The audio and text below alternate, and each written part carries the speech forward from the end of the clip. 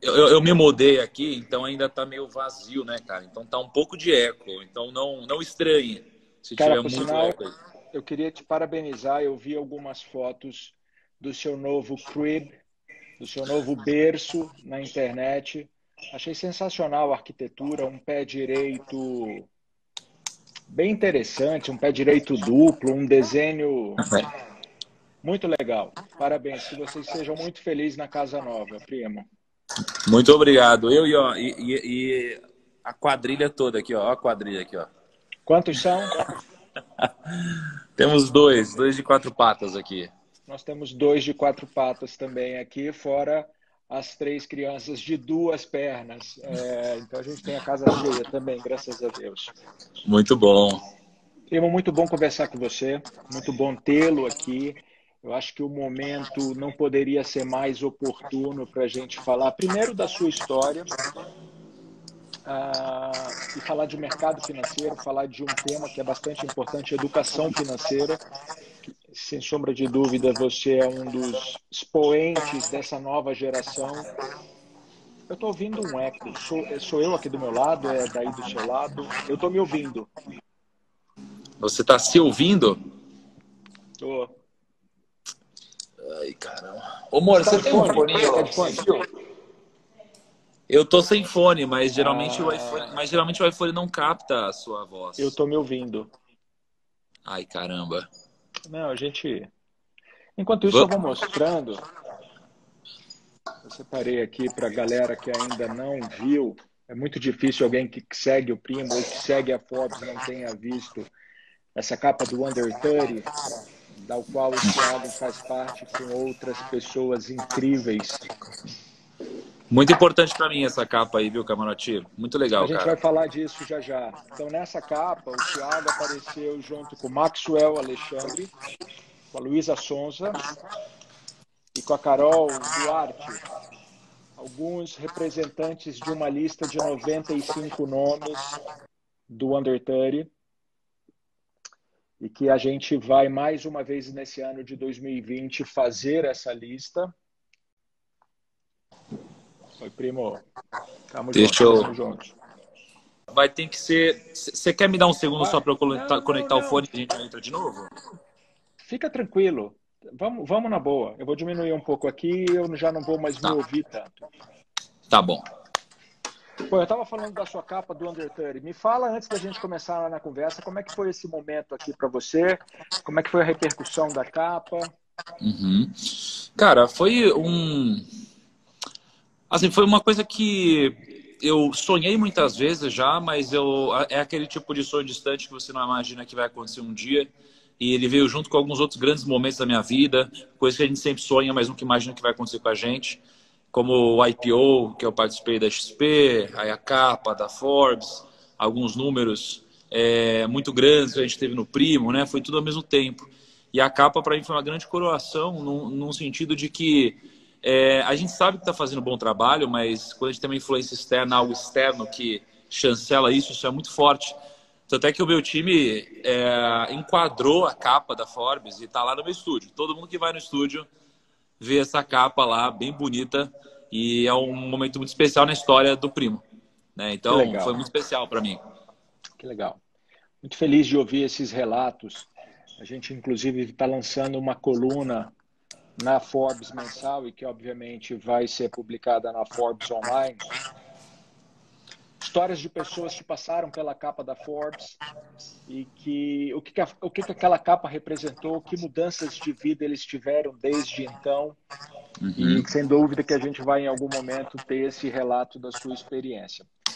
Mas bom, para quem não conhece, eu queria fazer uma breve apresentação. Tiago Negro, vocês devem conhecê-lo muito mais por Primo Rico, que foi esse personagem que ele criou em 2016. Ah, o Tiago é um jovem paulista de 29 anos, ele é um empreendedor, educador financeiro, youtuber e best-seller.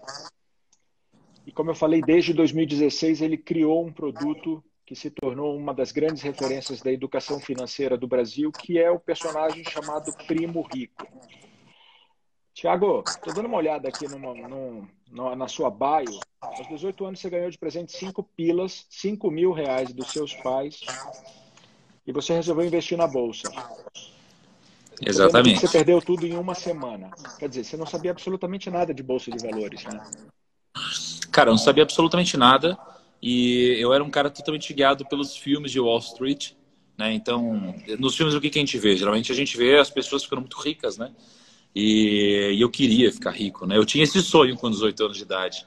Eu queria ficar rico financeiramente, queria ter liberdade, queria poder fazer o que eu quisesse, queria poder ter o botão do whatever, né? E, e aí, eu, como eu sempre vi as pessoas de terno nos filmes, em Wall Street, me enriqueceram muito rápido, eu achei que esse seria o meu caminho. Só que o que eu não contava é que você precisaria de muito conhecimento para, de fato, atingir algum grande resultado na Bolsa de Valores, né? E não só de grande conhecimento, mas também de um horizonte de tempo longo, né? Porque os filmes romantizam muito o mercado financeiro a ponto de que, putz, da noite para o dia acontecem coisas mirabolantes e todo mundo enriquece e fica milionário.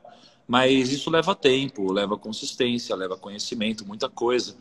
E eu não sabia de nada disso. E eu juntei toda essa minha ignorância com a ganância. E quando você mistura a ignorância com a ganância nas mãos de um garoto com pouco conhecimento, é, é questão de tempo até que ocorra uma grande cagada. E comigo foi até que rápido, né? Em uma semana essa grande cagada aconteceu. Eu perdi os 5 mil reais que eu tinha e, foi um momento muito importante na minha vida. Porque todo você deve ter ouvido grandes histórias já na sua vida de grandes empreendedores e todo mundo erra várias vezes, né? Várias vezes. E eu errei várias, essa foi só mais uma delas. E só que o importante é o que a gente faz quando a gente comete um grande erro e não não cometer erro, né? Eu acho que o grande segredo é esse, é você lidar bem com o erro, lidar bem com o fracasso. Fracassar não significa ser um fracassado, né? E, e, quando eu fracassei na bolsa, eu tomei a decisão de estudar, de me dedicar ao conhecimento. E isso daqui me rendeu muitos frutos, porque eu não me vitimizei, entendi que o problema era eu, não era o terceiro, não era a bolsa. E esse conhecimento que eu adquiri me ajudou a ter resultados consistentes que eu tenho até hoje, né? Eu tinha, 20, tinha 18, hoje eu tenho 29, faço 30 esse ano. E de lá para cá a gente tem uma bela guinada. E acho que em grande parte pelo conhecimento e por como eu lidei com esse fracasso no early stage ali da minha vida financeira, né? Fala uma coisa, Thiago. Quando você pegou esses 5 mil reais, você foi voo solo para a Bolsa, você foi através de um banco, você foi através de um agente autônomo, você foi através de uma corretora. Como é que você fez naquela época? Cara, é até engraçado isso daí. Ninguém nunca me perguntou isso, tá? Mas é engraçado porque eu, eu nunca eu acho até visto... que o momento é bastante oportuno. A gente está vendo que hoje o dia acordou, o dia começou com uma bela uh, discussão uma... saudável sobre posicionamentos de empresas, que inclusive são concorrentes, mas são próximas, um uhum. grande banco, uma grande corretora, e discutindo inclusive a importância uh, da forma que você investe. Se você vai fazer isso via o modelo tradicional bancário, se você vai fazer isso via agente autônomo. Mas a minha pergunta tem muito mais a ver com o fato de se mesmo sendo através de um agente. Mas me responde, você começou tá. investindo por onde? Aliás, se quiser falar um pouco do que aconteceu hoje, eu acho que é bem oportuno. E acho que essa, essa informação precisa ser disseminada. Essa briga, entre aspas, né? E acho que é muito legítima e quem ganha é o cliente, é o investidor, né? Mas no meu caso, eu tinha. Olha só, olha que louco isso aqui. Eu via nos filmes as pessoas enriquecendo, as pessoas ganhando muito dinheiro, só que. E eu sabia que as pessoas operavam, né? Ou seja, compravam e vendiam ações por uma coisa chamada home broker, ou uma plataforma, mas até então eu nunca tinha visto uma plataforma, eu nunca tinha visto um home broker. Eu lembro que, como eu tinha pouco dinheiro, né, de uma forma geral, é, nem todas. Na, naquela época não era como hoje, que tudo é muito acessível, você abre conta online, era tudo muito mais complexo. Eu lembro que eu queria abrir uma conta só para eu poder ver o home broker. Eu estava tarado para ver o home broker e eu precisava abrir uma conta para ser um broker. Não tinha aplicativo. Acho que, porra, nem lembro se tinha, já, já tinha lançado o iPhone naquela época, não lembro. Mas assim, eu não tinha acesso a nada. Então eu tentei abrir conta uma corretora, que na época era Ágora e você tinha 20 mil reais de mínimo para abrir conta. Então eu não conseguia abrir conta. Aí eu investi um pouco na geração futuro, na época, em alguns fundos. É... Até que, enfim, o home broker, pela primeira vez que eu acessei, foi o home broker da Codep.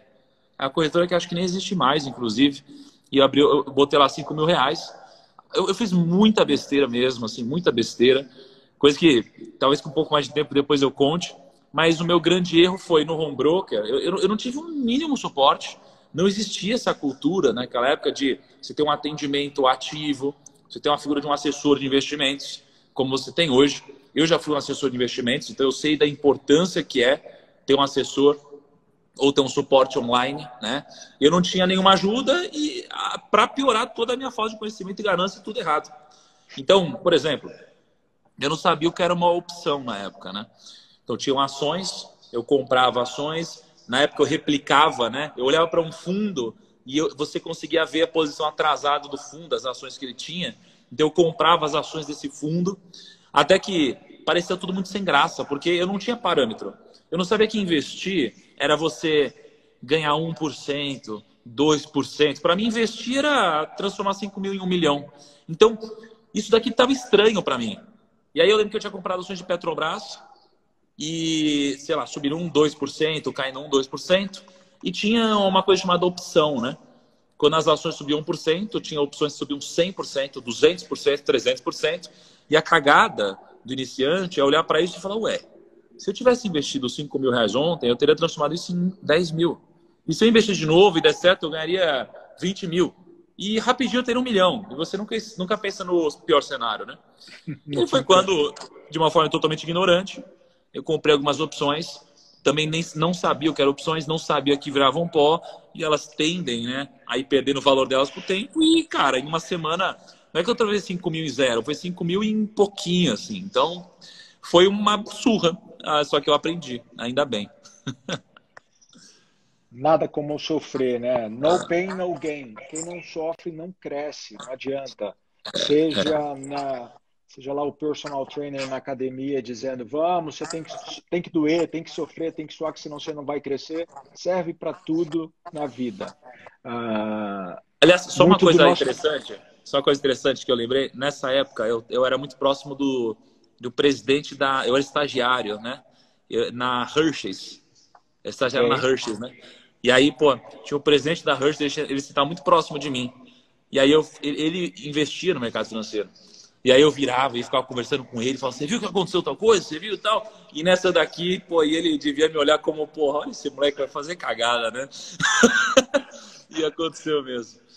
Você sabe que eu sei que você admira ele bastante também. Eu já tive a, honra e a oportunidade de conversar pessoalmente com Warren Buffett. E você sabe que eu também comecei minha vida muito cedo na bolsa de valores. Né? Eu comprava e vendia ações. Eu acho que eu já contei essa história numa live que a gente fez junto. Uhum. Uh, perdi muito dinheiro, aprendi muito com erros. Eu talvez não tenha me dedicado tanto que você se dedicou desde a desde essa derrocada aí dos 5 mil reais.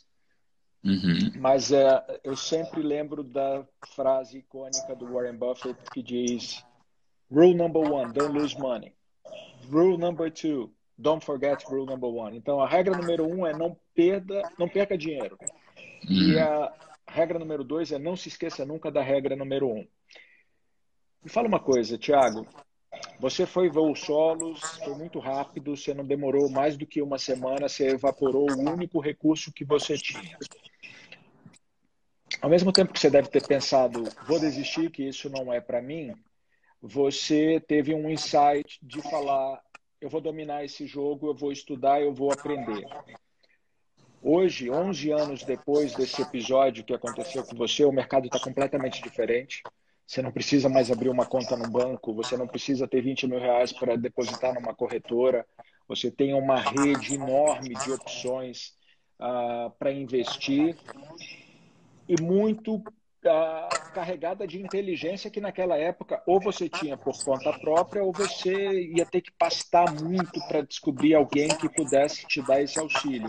Hoje isso não é necessário como é que você continua vendendo educação financeira, a importância da educação financeira, mesmo com um mercado tão bem assistido? Você acredita que mesmo com a oferta de inteligência de terceiros, assessor de, de investimento, o gerente do banco, enfim, um gestor de fundo, é importante que o dono do dinheiro saiba para onde aquele dinheiro está indo e concorde ou não com aquelas decisões. Como é que você me explica essa importância da educação ainda hoje com o mercado tão bem servido? Cara, eu acho que tem dois pontos aqui. Primeiro, é, o problema é, não é o que a gente sabe, é o que a gente. É, não, não é o que a gente não sabe o problema, tá?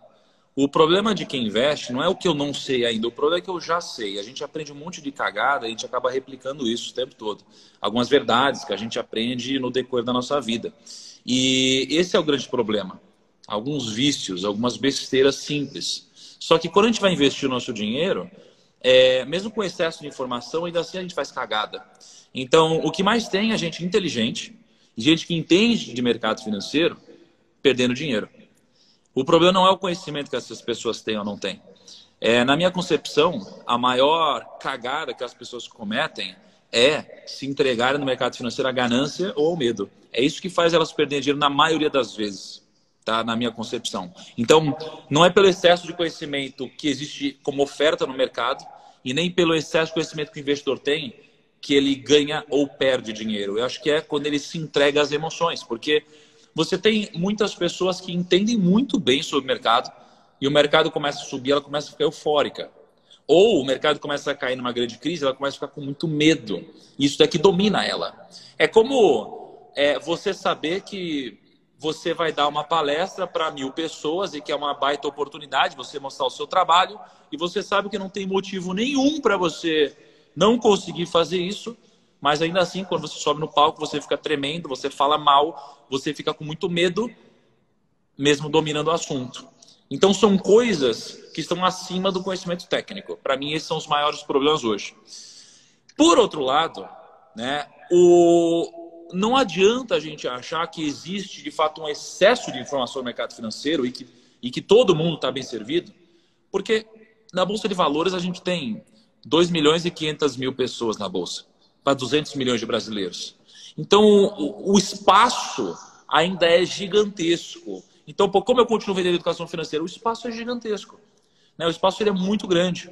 E o que está acontecendo é, como o espaço é muito grande, né, e, e, dinheiro é um assunto legal, o problema é que as pessoas falam sobre dinheiro de uma forma chata, muitas vezes, é, abriu espaço e margem para muita gente ruim entrar no mercado. Então, tem muita gente falando de educação financeira que é boa, de verdade, eu admiro alguns. Só que tem muita gente também que entrou e que nunca investiu na vida e está ensinando sobre educação financeira. Eu acho que isso tem um papel importante nessa democratização, mas por outro lado é um grande risco tá, para as pessoas. É, então, o que, que acontece?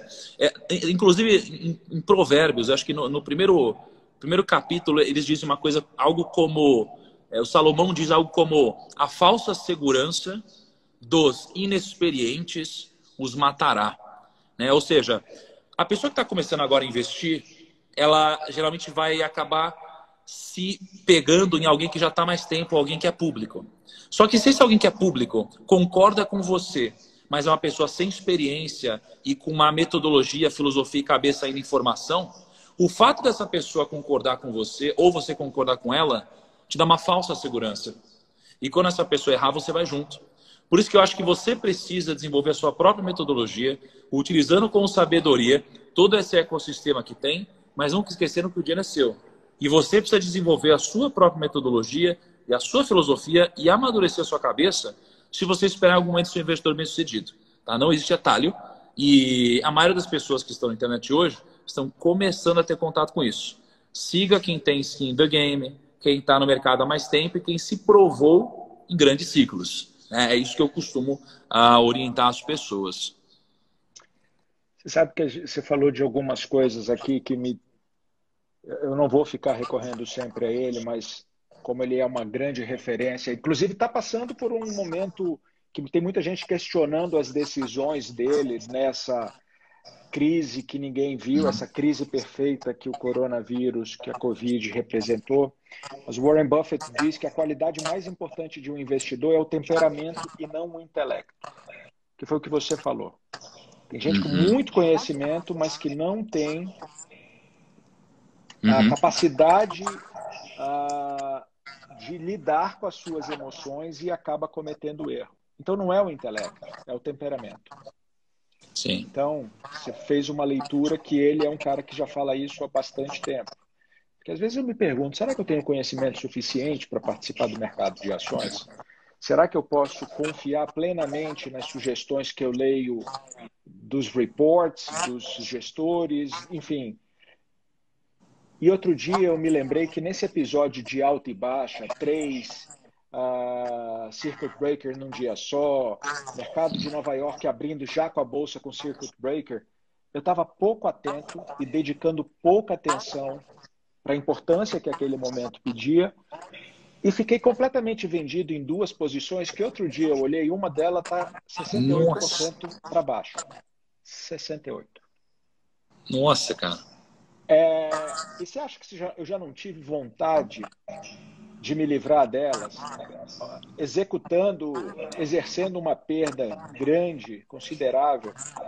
Só que assim, eu não estou aqui fazendo nenhuma previsão, eu não tenho bola de cristal, eu não sou vidente e não ah, costumo cravar nada. Mas eu ainda acho que o mercado vai ter momentos mais difíceis do que essa aparente bonança que a gente está vivendo nos últimos 60 dias. Eu acho que o buraco ainda não foi totalmente visitado e eu estou ali esperando porque eu acho que em algum momento eu posso me, me livrar dessa posição vendida sem muita, sem muita perda. Mas isso não aconteceria se eu não tivesse o temperamento de saber ter estômago para aguentar isso. Sim. Como é que você treina as pessoas a fazerem isso, Thiago? Como eu treino? Cara, tem certas coisas que a teoria não ensina. Tem certas coisas que não adianta você dizer para alguém fazer, né? Como é, quantas vezes a gente já não viu uma pessoa mais nova no primeiro relacionamento apaixonada por uma pessoa que só faz cagada. E aí você fala, poxa, só rola cagada, sai dessa. E a pessoa fala, não, mas eu amo essa pessoa e tal. E a gente sabe que é aquela coisa de primeiro relacionamento, né? Dar certo é exceção. A regra é que geralmente é o relacionamento, a gente aprende, etc. Né? E no mercado financeiro não adianta falar, cara, pensa a longo prazo, pensa a longo prazo, porque às vezes as pessoas vão tomar uma porrada. Por isso que uma coisa que eu percebi no mercado é que quem entra no mercado tomando uma porradinha já nasce mais esperto que entra no mercado ganhando. Já vai engrossando o couro, né, Tiago? Já vai engrossando o couro, cara. Então, assim, o que, uma coisa que eu entendi é: como é muito difícil a teoria ensinar para uma pessoa uh, tudo que a experiência me ensinou, e não falando de mim, que já ensinou grandes investidores, por exemplo, é, o que eu decidi fazer foi investir meu dinheiro publicamente. Porque eu acho que, na prática, a teoria é outra, né? Então, ah, é aquela coisa, né? Se você fala palavrão na frente do seu filho e você pede para ele não falar palavrão, ele vai falar. Né? Então, assim, não adianta você falar para alguém se você não dá o exemplo. Eu acredito na liderança pelo exemplo. Né? Os grandes, os maiores líderes que eu conheço são líderes pelo exemplo. São pessoas que falam o que, faz, o que fazem, né? E não pessoas que. Desculpa, são pessoas que fazem o que falam e não pessoas que falam para você fazer alguma coisa. Então, por isso que eu, tô, eu, eu pensei em investir meu dinheiro publicamente, porque eu acho que assim o processo de aprendizado é, melhor, é melhor das pessoas. E eu acho que ninguém vai aprender só na teoria. Porque as pessoas falam, puta, eu tenho medo de começar a investir. O que eu sempre digo é, entra com um pezinho só. É, o Warren Buffett disse isso. Entra com um pezinho só. Porque não tem problema. Se você entrar com 100 reais, cara, eh, você não vai ficar rico com 100 reais. É claro que não. Mas o conhecimento que você vai absorver aqui, ele é muito importante. Vale mais do que essa oscilação que você vai ter em cima de 100 reais. Então, como que eu ensino alguém? Bom, com experiência, dando tempo ao tempo, respeitando o tempo e entregando o máximo que eu puder de valor para essa pessoa. Um valor real, de vivência, e não de teoria apenas, né? É misturar a teoria com a vivência. Então, assim, tem, tem uma coisa, né, que chama conhecimento tácito. Então, você tem o técnico e o tácito, né? O técnico é o que a gente passa, ensina a teoria. O tácito é uma coisa de Sabe quando você trabalha perto de alguém e você não sabe identificar o que exatamente, mas você sente que você está ficando mais experiente, mais maduro, mais inteligente? É porque você absorve da experiência, da prática, do dia a dia. Porque é o tácito, é, o que, é você estar do lado dessa pessoa, olhando para ela, vivenciando junto com ela é, e absorvendo tudo que acontece. Né? Então, para mim, o conhecimento tácito é aquele real. O técnico ele é um conhecimento de base que te ajuda a entrar da forma menos pior possível em algum mercado, né? Então, é um pouco disso, Camarote. Fala uma coisa, primo. Você tem o livro mais vendido do Brasil. Uh, me corrija se eu estiver errado. De educação financeira, é isso? Exatamente. É o livro mais vendido do Brasil. É, no ano passado foi o livro mais vendido do Brasil overall, né, de um autor brasileiro, não só de educação financeira. A gente vendeu quase 500 mil unidades e estou muito feliz, tá? Especialmente porque a gente está é num país de pessoas que não leem, né? A média de livros, eu nem lembro agora, mas assim, eu acho que é menos de um livro por ano por brasileiro, sabe? É, é muito pouco a nossa média. Qual é o peso de carregar essa responsabilidade de ser referência e de ser esse guide, esse uhum. guia de tanta gente que está começando? Eu lembro que não faz muito tempo que todo mundo estava fazendo um countdown do dia que a Bolsa ia ter mais de um milhão de CPFs. Não faz muito tempo, a gente está falando de um ano e meio, talvez. E em um curtíssimo espaço de tempo, passou de um, foi para dois, está em dois e meio. Quer dizer, a gente mais do que dobrou a quantidade em menos de um ano. Quer dizer, mais e mais CPFs estão recorrendo à bolsa e mais e mais pessoas vão começar a tentar aprender algo que é muito novo, como educação financeira, o que é ação, o que é opção, o que é short, o que é put, o que é call. Cara, assim. Que você carrega sabendo que você é uma das maiores referências do tema, tem tanta gente lendo seus livros e vão olhar para o que o Tiago faz. Um, eu não senti, eu não senti o peso até pouco tempo atrás, né? É, e aliás, eu sou do tempo em que, quando eu entrei no mercado, o Edemir Pinto, né, o ex-presidente da Bolsa, com uma campanha junto com o Pelé, eles, eles prometiam 5 milhões de CPFs na Bolsa. Não sei se eram 3 ou 5 milhões, acho que eram 5 milhões de CPFs na Bolsa, né? E aí foi engraçado, né, que o Pelé numa entrevista, né, falando: Pelé, o que, que você acha aí de investir em ações? O Pelé era o garoto propaganda da bolsa. O Pelé falou assim: Não, que ações o quê? Meu negócio é imóvel. Porra, o cara é garoto propaganda da bolsa. E, estavam super alinhados ali no discurso, né? Combinaram super alinhados. Discursos, né? E aí, cara, assim, esse número nunca aconteceu. Passou-se 10 anos quase. Teve um movimento de educação financeira com alguns influenciadores bem interessantes aqui no Brasil. Aliás, cara, eu, eu sou bem ligado no mundo dos influenciadores ao redor do mundo de finanças. E no Brasil a gente tem o maior movimento de influenciadores de finanças é, overall, assim. Nos Estados Unidos a gente tem alguns grandes, mas a gente não tem nenhum que é maior do que os maiores do Brasil, por exemplo. Aqui é o maior ecossistema de educadores financeiros. Mesmo lá tendo muito mais gente investindo, né? Então, o que acontece? É, acho que juntaram três fatores aqui no Brasil contribuíram muito para esse incremento gigantesco que você falou. A gente está com 2 milhões e 500 agora. A gente fechou no passado com 1 milhão e 600. Cara, é seis meses atrás. O ano anterior a gente fechou com 800 mil pessoas. Então, muito exponencial mesmo. Acho que, primeiro, a gente teve esse movimento de educação financeira dos influenciadores, né? Só o Primo fala hoje com quase 15 milhões de pessoas todos os meses. Isso é maluco, né? É, é, muita gente no Brasil, especialmente se você for interpretar que eu falo com as pessoas que têm mais acesso a investir capital. Então, uma boa parte dessas pessoas. É, outros influenciadores também ajudaram pra caramba. Eu, eu faço parte de um bolo aqui. É, outro movimento, acho que a taxa de juros que caiu pra caramba, né? Eu lembro do, do, meu tempo, a taxa de juros quase em 20%. E hoje a gente está falando de 2%, entendeu? Coisa de 2%. Então a taxa de juros cai, as pessoas não têm mais aquele 1% ao mês e pensam, cara, eu preciso botar meu dinheiro em algum lugar. Então, existe uma migração muito grande. Tem uma coisa interessante também, que até o, o Benchimol me falou uma vez, que eu acho que é legal, que é o movimento de empreendedorismo hoje, em que, será que o mundo de inflação o tempo todo, né, que a gente vive num mundo que é sempre inflação, os preços sobem, será que isso daqui é projetável? Porque a gente vive num mundo de fintech, redução de custo, digitalização, e o preço de muitos negócios eles só vão caindo porque vai aumentando a eficiência das coisas, né? Então você junta isso, junta empresas escaláveis, junta um mercado financeiro mais sólido e junta uma propaganda gigantesca de corretoras, né? Seguido por valuation de XP, é, BTG, outros grandes bancos, grandes corretoras. Cara, tá todo mundo entendendo isso aqui é um, é um big deal e tem muita gente trazendo uma avalanche de dinheiro.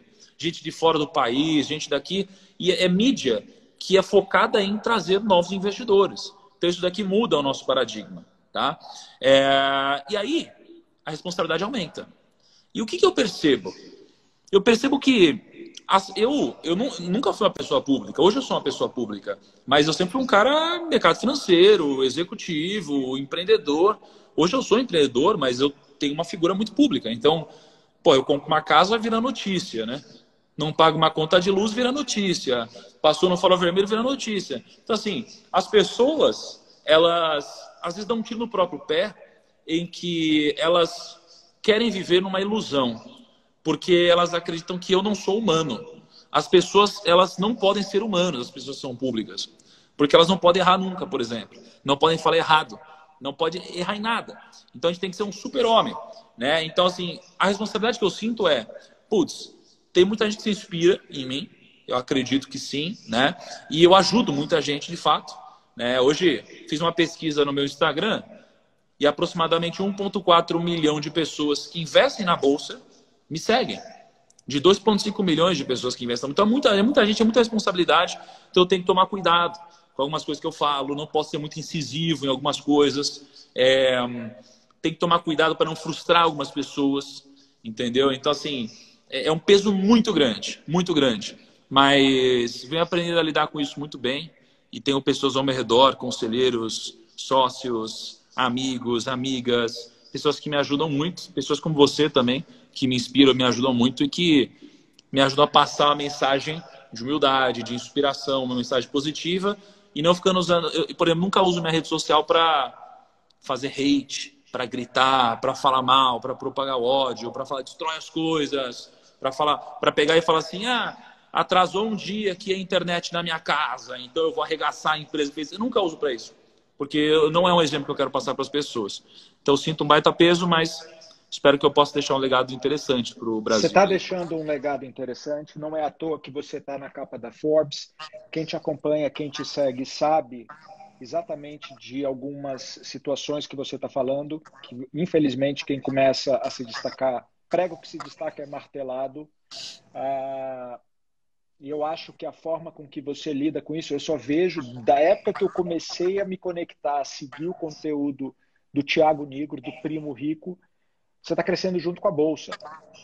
Né? Independente desse ou daquele episódio, você não para de crescer. Você faz evento presencial para mais de 20 mil pessoas, você conversa com mais de 15 milhões de pessoas por mês, você é o maior livro vendido do Brasil. A gente conversando em Nova York durante aquele momento muito especial do mercado financeiro brasileiro, que foi o IPO da XP, você me encontrou de planos internacionais da expansão da marca Primo.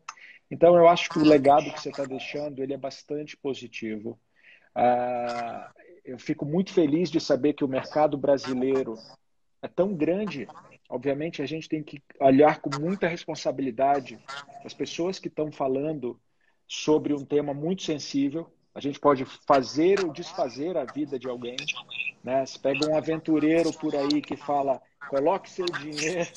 Quantas, quantos loucos a gente vê vendendo pirâmide, Tiago? E gente perdendo tudo naquilo ali por causa da ganância, por causa da falta de inteligência emocional e financeira. Mas para mim está claro que uma das razões desse ser um mercado tão uh, frutífero para a educação financeira Diferentemente dos Estados Unidos, que tem muito mais investidores do que nós, eles crescem, eles nascem e crescem muito acostumados com o mercado de capitais. É, não é uma conversa estranha para eles. O cara que está no college, no high school, as pessoas ouvem falar da bolsa de valores, da ação da Coca-Cola, ou veem a foto do papel da primeira ação da IBM. Quer dizer, é muito próximo deles e muito distante da realidade de muita gente do Brasil. E que não tem a ver com a classe social, financeira. É aquilo. O Brasil cresceu no modelo do CDB, né? Vamos deixar o dinheiro rendendo ali e, e não recorria à bolsa. Então, eu não tenho dúvida que tem um mercado gigantesco aí fora e que tende a crescer cada vez mais. E para tirar um pouco da responsabilidade dos seus ombros, eu vou deixar aqui uma terceira e última frase do Warren Buffett, que eu acho que essa ela é tão importante quanto as duas outras que eu falei. A menos que, a menos que você possa assistir o declínio das suas ações em mais de 50%, sem entrar em pânico, você não deve participar do mercado de ações. Porque é, é isso que vai acontecer em algum momento. Imagina quem estava com uma posição comprada antes do dia 16 de março de 2020. Imagina quem estava com uma posição ainda comprada no dia, por exemplo, que o Sérgio Moro pediu demissão do cargo de ministro da Justiça. Tem gente que não consegue participar desses episódios. Você vê uma ação cair 35% num único dia, talvez esse não seja o seu business. É, cara, assim, eu, eu acredito muito no conceito de quando você monta uma carteira. Primeiro você não tem que investir apenas em uma única coisa, você tem que montar uma carteira de investimentos. E para mim, a carteira de investimentos ela é como você construir uma arca, né? Porque a enchente, só que uma arca sabendo que a enchente vai chegar, porque ela chega de 5 em 5 anos, ela chega pelo menos uma vez. Só que quando você tem a sua arca construída e a enchente vem, você vai ser levado aqui conforme, mas você está dentro da arca. Você está tranquilo. Quando você deixa para construir a arca durante a enchente, é muito mais difícil. Talvez você nem consiga, né? E eu, um legado que eu quero deixar para o mundo, em algum momento, eu sou muito novo, mas me inspiro muito em Napoleão Hill, alguns outros grandes pensadores, estudiosos. Um dos legados que eu quero deixar para o mundo é um estudo sobre riqueza, né? Por isso eu dedico muito tempo da minha vida hoje a ir atrás de bilionários, milionários, grandes investidores para aprender com eles, né? Aliás, hoje talvez esteja um ponto na minha vida que eu sou mais sábio em relação ao meu, à minha vida como um todo, né? Só que hoje, que eu tenho o maior conhecimento que eu já tive na minha vida, eu percebo que eu percebo a necessidade de aprender mais do que eu sentia quando eu estava começando. Então eu sou um eterno aprendiz, eu entendi que vai ser assim para sempre. Né? O mercado é absoluto, a gente precisa aprender e estudar sempre.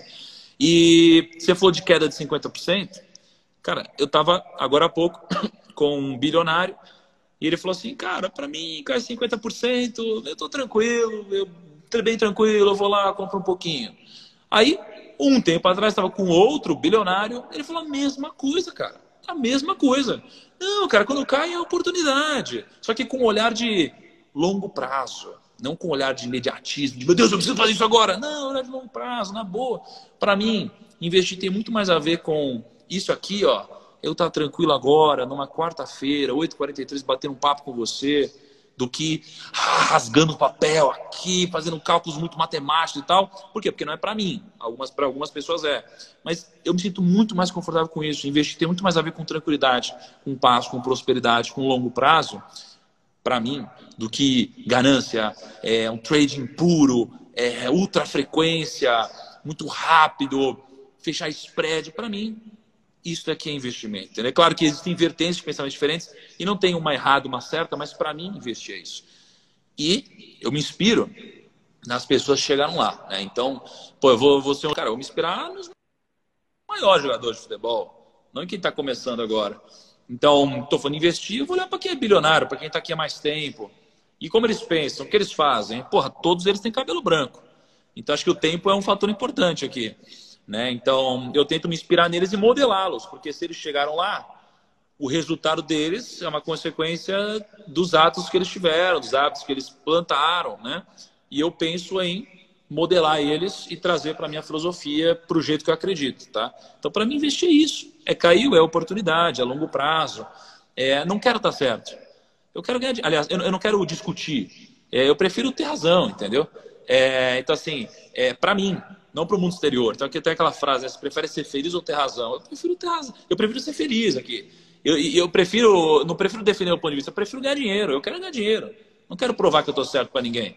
Então hoje eu vejo as pessoas nas redes sociais passando mais tempo discutindo para defender o ponto de vista delas, sob a falsa uh, premissa de que isso daqui gera conhecimento, só para defender o ego delas.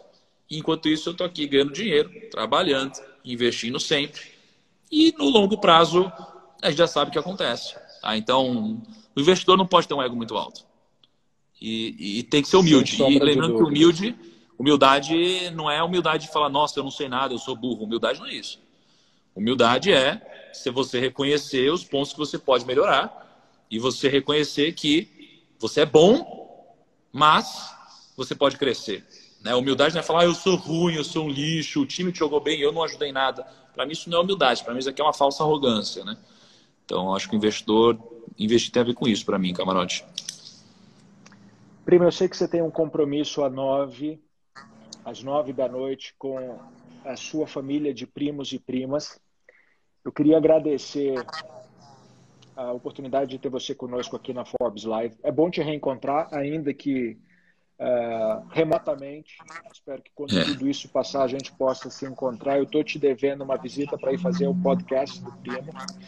Ah, vamos, é vamos ver se você aceita esse convite humilde, né, Camarati? O convite já está aceito, só que no dia que ia acontecer o convite, eu ia viajar, enfim. Ah, a nossa vida ficou de cabeça para baixo. Pessoal, quem não leu ainda essa edição da Under 30, que tem dentre esses jovens talentosos o Tiago Negro, o Primo Rico, você encontra essa edição no aplicativo da Forbes, na loja da Apple e na loja do Google Play. Clientes Vivo, baixem uh, o aplicativo Forbes Brasil Prime. E quem é cliente vivo, família pós, consegue ler todos os exemplares da Forbes de graça. Então, você vai lá e lê essa e as outras 78 edições da Forbes no Brasil.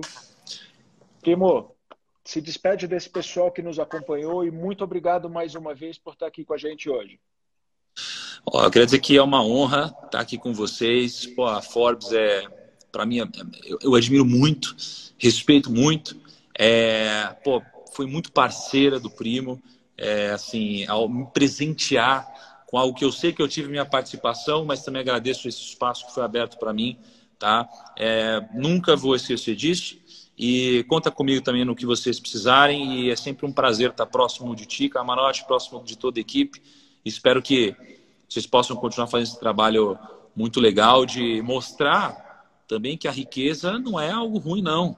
Né? A riqueza é algo bom, é algo que potencializa uh, o que você já faria antes, né? mas agora você tem dinheiro e poder e você vai poder fazer de fato o que, você é, o que a sua essência diz que você é.